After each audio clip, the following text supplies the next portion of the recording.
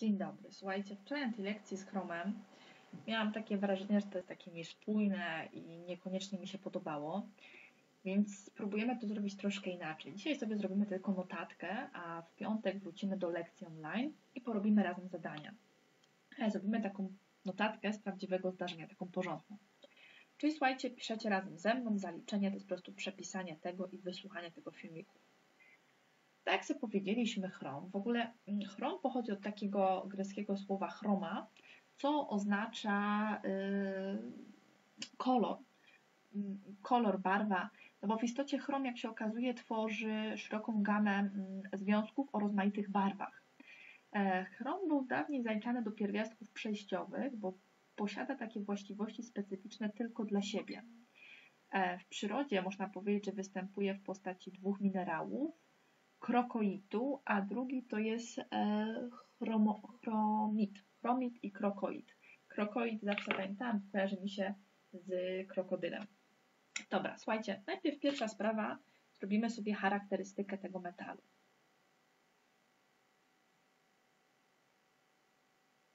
Jaka jest charakterystyka? No, okazuje się, ja sobie troszkę to przybliżę, słuchajcie, żeby to było lepiej widoczne. O. Tak, charakterystyka. Jest to twardy metal. No tak chłopacy pewno myślą o alumfelgach, no to jest on twardy, ma dużą gęstość, one są ciężkie, tak? Duża gęstość. Srebrzysto-biała barwa.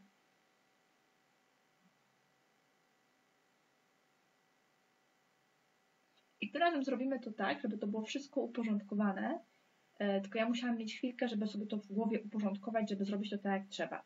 E, przy czym mój mąż mi w pracy wydrukował ten chrom zadania, więc będzie nam w piątek o wiele łatwiej je razem wspólnie robić, ok? E, słuchajcie, ulega pasywacji. Teraz Wasze zadanie, jedyne, które będzie oprócz notatki. Co to jest zjawisko pasywacji? Macie tutaj ładnie znaleźć i dopowiedzieć. I jest niezbyt aktywny chemicznie.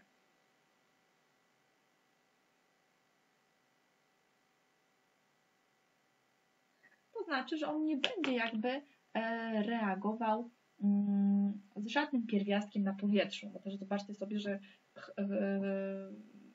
chromiane alumfelgi no, nie rdzewieją, nie brudzą, nie mam jakichś plam, tak? To nie jest taka sytuacja, że coś nam tam e, odpada rdzą, nie? tylko natomiast są bardzo drogie. E, znaczy bardzo, no, droższe niż takie normalne. Słuchajcie, to jak wygląda chrom, to doskonale sobie powiedzieliśmy, więc on ma, tak jak chyba powiedział nawet E, Max, jak dobrze pamiętam. Konfiguracja jest 4S1, 3D5, zachodzi promocja i widzimy stąd wprost, że ma na pewno plus 6 stopień utlenienia. Występuje też na trójce i występuje na dwójce. I łatwo zapamiętać, że jak występuje na drugim stopniu utlenienia, to najczęściej w roztworach wodnych Związki te przyjmują barwę niebieską. I tak sobie to rozdzielimy, tak? Ja to mam mniej więcej w głowie. Natomiast na trójce, jak przyjmuje zwią jest w związkach trójwartościowy, to ma barwę zieloną. E, natomiast jeżeli mówimy sobie o sytuacji, kiedy on jest na szóstce, to jak już wiecie z dzisiaj, może być intensywnie żółta albo intensywnie pomarańczowa. ok? No i idziemy dalej. Myślę, że ta notka będzie o wiele wiele ładniejsza, bo ja sama postanowiłam ją zrobić tak, żeby była łatwa, przyjemna, żeby to była taka historia. Dobra, idziemy dalej. Słuchajcie, trzeci punkt, o tak, żeby było wszystko widać, to będzie yy, same reakcje czystego chromu. Okazuje się, że chrom dość ciekawie się zachowuje w przypadku rozcieńczonych kwasów. E, no bo jeżeli mówimy o rozcieńczonych kwasach, yy, stężonych kwasach, to on w tym momencie będzie ulegał e, pasywacji. Czyli chrom nie reaguje z stężonymi kwasami.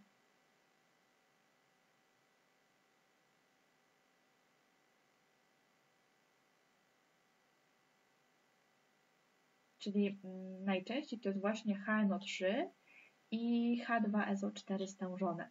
Słuchajcie, to są te kwasy, które na przykład reagują z miedzią i ze srebrem. On nie reaguje, bo ulega pasywacji. No i tą pasywację macie sami ogarnąć, żeby nie było, że kompletnie nic nie robicie, dobra? Ja, ja dyktuję gotowe notatki. No to przeczytajcie sobie o tym zjawisku pasywacji, o to Was zapytam w piątek. Natomiast jak reaguje yy, natomiast z rozcieńczonymi,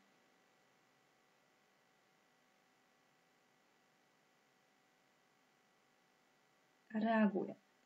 I reaguje na dwa sposoby. Słuchajcie, możemy dodać sobie chrom plus kwas i jeżeli będzie, czyli można sobie zrobić podpunkt A bez dostępu, dostępu powietrza czy tlenu, tak? Albo bez dostępu tlenu, bo to chodzi przeważnie o tlen, on będzie przyjmował drugi stopień utlenienia. Natomiast z tlenem ten sam kwas, a jeżeli jest dostępny tlen, to słuchajcie, on wchodzi na trójkę. I produktem jest dodatkowo woda i wodór. Ja to sobie już pozwoliłam e, przed tym, jak e, kombinowałam notatkę, to sobie to pouzupełniałam, ok? To są oczywiście reakcje redox, więc jak ktoś ma ochotę, może samodzielnie rozwiązać. O, teraz powinno być wszystko, tak? Czyli mamy te reakcje. No i teraz będziemy się, słuchajcie, bujać ze związkami chromu na dwójce czyli chrom plus 2. Wiemy, że na pewno chłopak jest niebieski. Zrysujemy go na niebiesko i może stworzyć, słuchajcie, będzie tworzył jakby trzy rodzaje związków, tak? Nie wiem, czy ten niebieski widać, myślę, że chyba tak. Ok.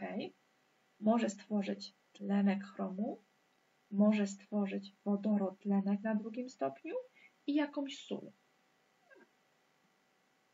Czyli na przykład CrCl 2, tak?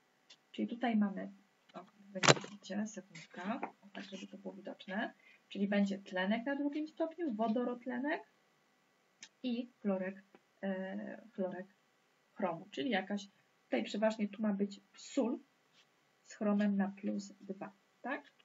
Jeżeli chodzi o tlenek chromu, słuchajcie, e, to jest tlenek zasadowy.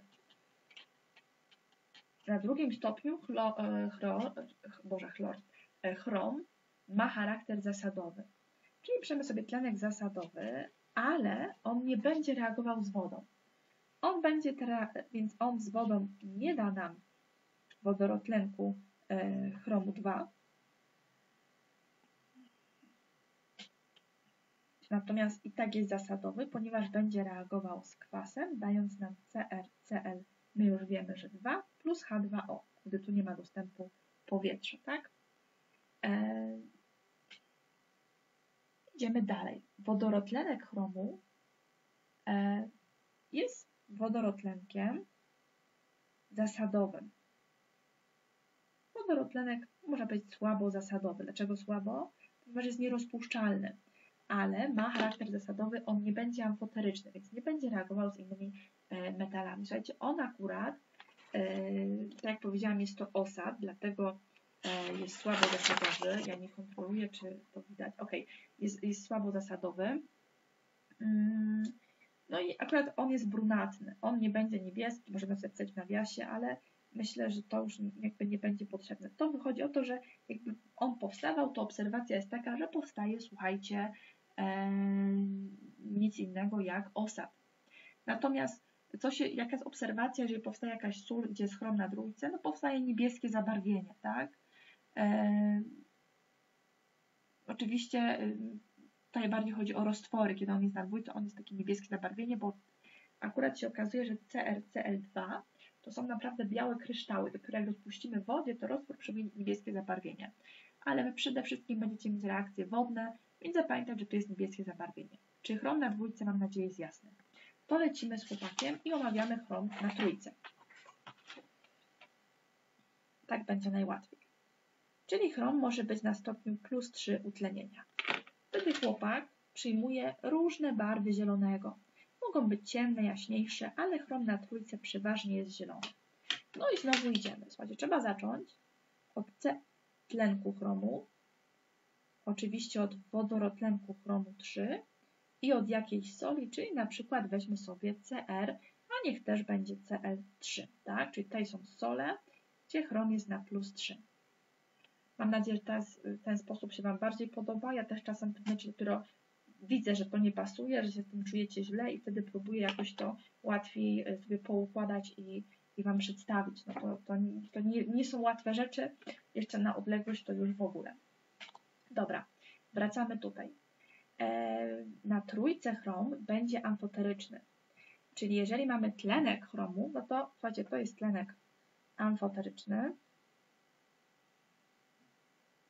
a to jest wodorotlenek, który też będzie amfoteryczny. I oczywiście będzie miał, będzie, będzie nierozpuszczalnym osadem. E, ten tlenek chromu 3, CR2O3, ma taką dosyć bardzo intensywnie zieloną barwę. E, on oczywiście nie ulega reakcji z wodą, ponieważ jest amfoteryczny, ale będzie ulegał reakcji z kwasem mocnym i reakcji z wodorotlenkiem, tak? W przypadku reakcji z wodorotlenkiem musimy dodać wodę. Otrzymujemy kompleks. Chrom najczęściej też przyjmuje yy, akurat liczbę koordynacyjną 6. Tutaj możemy czwórkę też czasem przyjmuje, ale lepiej wziąć szóstkę. ok, czyli tutaj mamy tak, minus 1 razy 6 to jest na plus 3, czyli tu musi być K3, tak? W konsekwencji, mm, żeby chrom się zgadzało, bo tu mamy 2, tu będzie dwójka, tu będzie szóstka i żeby się zgadzały wodory, tu musi być trójka. Natomiast z kwasem ta reakcja będzie nieco łatwiejsza, CrCl3 plus wiadomo H2O, żeby się zgadzało 2, tu 6, a tutaj 3. Tak, mam nadzieję, że jest ok. Więc to jest tlenek amfoteryczny, natomiast wodorotlenek yy, chromu jest też amfoteryczny i również dlatego będzie reagował z, słuchajcie, z kwasem i z zasadą, tak? Jak dodamy kwas, to co otrzymamy? No sól na trzecim stopniu utlenienia, to nie jest i oczywiście woda, żeby się zgadzało tutaj trójka, tu trójka i pasi. Natomiast jeżeli dodamy wodorotlenek sodu, to otrzymamy kompleks. Też starajmy się, żeby to było konsekwentnie, czyli na szóst, liczba koordynacyjna będzie dla chromu, przyjmujemy sobie 6, ok? Natomiast tu będzie o tyle łatwiej, żeby się zgadzało CR 6, czy, czy, czy, czy, czy, czy, czy, czy, dać chwilkę. O, a tutaj ma być 6, tu jest 3, to ja bym dała tutaj dwójkę szóstkę i dwójkę i powinno pasować. Natomiast co się dzieje z, y, z solami na trójce? No słuchajcie, Wasza obserwacja będzie taka, że one powstają, to robią się niebieskie. No i został nam ostatni chrom na szóstce, ten taki najbardziej zagadkowy, czyli chrom na plus 6. Więc jak te informacje przyswoicie dzisiaj z filmikiem, zrobicie notatkę, to myślę, że teraz te zadania, które będziemy razem robić w piątek przez Skype'a, będą już całkowicie jasne. Słuchajcie, na szóstce on jest, jak co powiedzieliśmy, od pomarańczowego po żółty. Może być albo intensywnie pomarańczowy, albo intensywnie żółty. Dzieje się tak, że um, jak to powiedzieć? Słuchajcie, zaczniemy sobie od tlenku chromu 6, czyli mamy CrO 3, tak? On jest na szóstce, on jest na dwójce. On jest kwasowy. I akurat ten na szóstce e, to jest ciało stałe, które jest, czerwone. Akurat jego barwa niekoniecznie jest do zapamiętania, ale tak, tak a propos. I zobaczcie, czerwony będzie tak przechodził albo słabiej, albo w stronę jakby żółtego i czasem mm, w stronę pomarańczowego, sobie tak to kojarzę. E, I teraz tak, jeżeli my będziemy robić reakcję z wodą tego tlenku, otrzymamy bardzo nietrwały kwas. I teraz w zależności ile tej wody dodamy, e, albo jaki jest stosunek tlenku do wody, jeżeli jest po prostu, już sobie tutaj o, przełożę, jest 1 do 1, to otrzymujemy nic innego jak H2CrO4 Y, przy czym, tak jak mówię, najczęściej to po prostu będzie jon CrO4 2 bo ten kwas jest bardzo nietrwały, tak? Natomiast w przypadku, kiedy podwoimy, czyli jest stosunek 2 do 1 tlenku do wody, to otrzymamy kwas dichromianowy. Stopień utlenienia jest dokładnie ten sam, tylko się różni,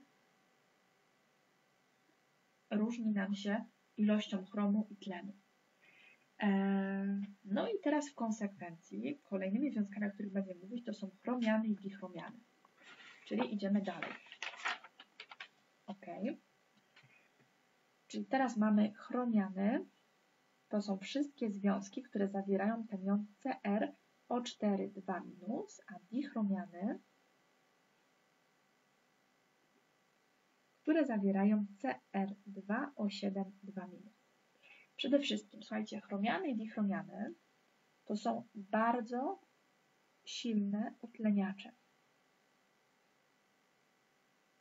Są y, ogólnie wszystkie związki chromu na szóstym stopniu są bardzo toksyczne, mają działanie rakotwórcze i mutagenne. I są niebezpieczne dla środowiska, ponieważ utleniają wszystko, co się da. A więc również utleniają struktury komórkowe, powodując właśnie między innymi e, przyczynę gdzieś tam powstawania nowotworu, tak? Czyli komórka po prostu nie będzie mm, ma zniszczone struktury swoje komórkowe, nie jest kierowana na przykład apoptozy, bo coś się pomyliło, zaczyna się buntować, coś się tam złego dzieje na takiej zasadzie. Słuchajcie, jeżeli mamy bardzo silne utleniacze, e, to on zawsze w reakcjach redox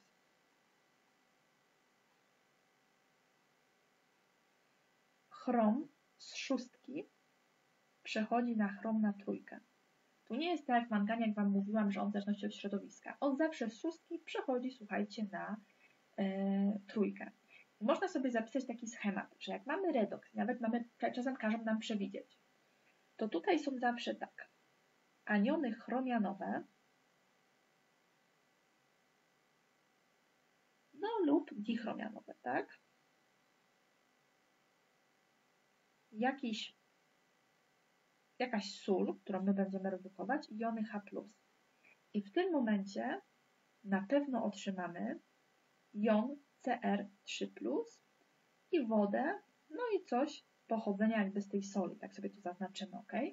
To jest taki gotowy schemat, bo tam y, mieliście tą reakcję, gdzieś tam te pierwsze zdanie, natomiast ja tego tak nie powiedziałam, nie, nie wytłumaczyłam, jak sobie to w poukładałam, więc mam nadzieję, że teraz to jest jasne, czyli mamy jeżeli pojawiają się aniony, czy chromiany, czy dichromiany, dodajemy jakąkolwiek stół, która, którą da się oczywiście utlenić. Gdzieś tam musi być jakiś związek, który da się podnieść jego stopień utlenienia i wodór. Musi być wodór. W tym momencie otrzymujemy CR na trzecim stopniu utlenienia, wodę, no i coś z tej soli, coś, jakiś, y, coś co się tutaj nam, słuchajcie, utleni, tak?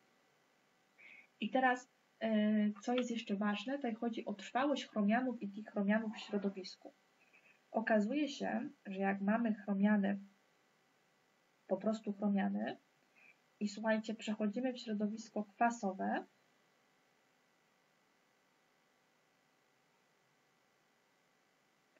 to przechodzą nam one w dichromiany. Przypominam, to nie jest reakcja redox, ponieważ i tutaj, i tutaj widzimy, że stopień utlenienia, ja wezmę tą lampę, żebyście widzieli kolory, stopień utlenienia jest 6. Natomiast jak to będzie zachodziło? Słuchajcie, czyli bierzemy sobie CrO4 2-, wrzucamy środowisko kwasowe i tym sposobem otrzymujemy CR2O7 2-, no domyślamy się, że musi być plus woda. Tu mam chrom 1, tutaj są 2, więc wpisuję dużą dwójkę. Wodory mam 2, tutaj dużą dwójkę i teraz wszystko działa. 7, 8 tlenów po tej stronie, 2 razy 4, również 8 tlenów po tej stronie. Ok, ja troszkę przesunę, żebyście widzieli. Więc zobaczcie, że w środowisku kwasowym jakie będą trwałe? Trwałe będą dichromiany. Natomiast jeżeli do dichromianów dodamy sobie, słuchajcie, środowisko zasadowe, czyli na przykład jakąś tam zasadę, cokolwiek w ten sposób zasadowe, czyli wrzucimy jony OH-, to w tym momencie powstaje nam CrO4 2-. Tak? Więc słuchajcie, będzie zmiana koloru. Czyli jak można to zauważyć?